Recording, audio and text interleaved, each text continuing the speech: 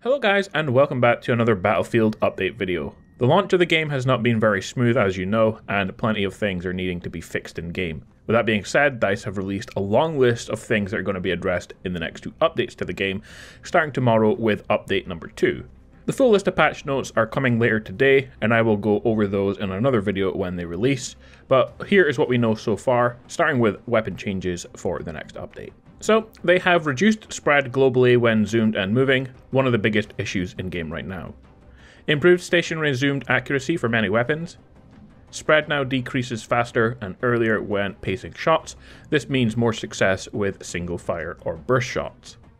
And lastly, they've increased the PP-29's vertical recoil to ensure that the weapon does not overperform when engaging outside of its intended combat range, and hopefully that will make other guns more viable.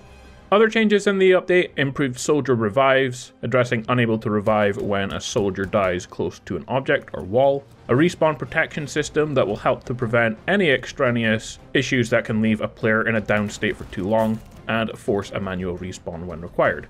We enabled the UAV-1 interaction in Battlefield Portal. This was previously overpowered, and they've made adjustments to account for that.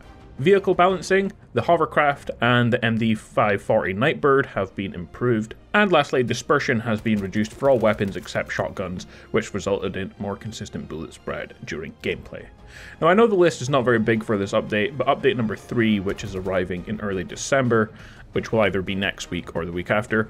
The list currently has 225 changes on it, so it's going to be a very big update, and I'm going to go over those changes over the next week or so in separate videos instead of one huge long video covering the various topics.